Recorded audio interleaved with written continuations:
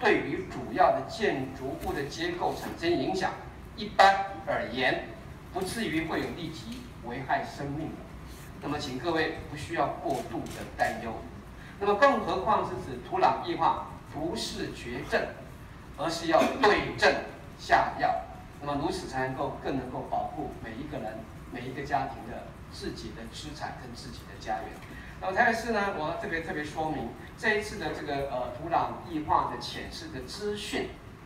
的这样的一个公布呢，已经是跨局处的整合，那么同时也提出九点的应用对策，即日起开始生效而实施。这里呢有各式各样的，尤其是在这里的 Q&A，各位都可以直接下载，非常容易易懂，甚至是在这个图资资讯里面，你也可以用你自己的门牌号码来查询。那么从这里特别强调是指。包含这九项里面，我就不一一赘述，但是详详细细的会请各个局处详细跟各位说明。最重要的是指包括土壤异化的工作站查询，你可以打电话过来问，你也可以直接用申请老屋建检。最重要的是指说，从今年的四月份起，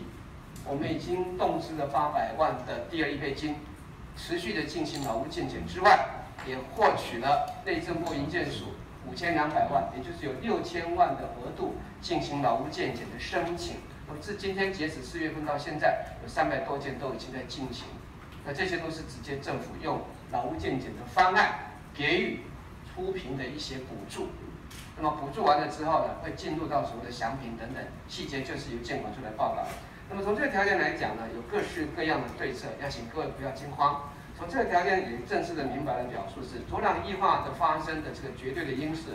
以及了这一次的图纸资讯里面的一些显示呢，让我们更精确的了解是说这样的一个事实是可以让每一个人有知的权利之外，更重要的是市民朋友不要担心是否准备好所有的配套，就一一在今天一并说明之外，唯有在这样一个面对的情况之下，我要特别重申了，劳务见解已经启动，更重要的是我们要加速推动。老旧房屋的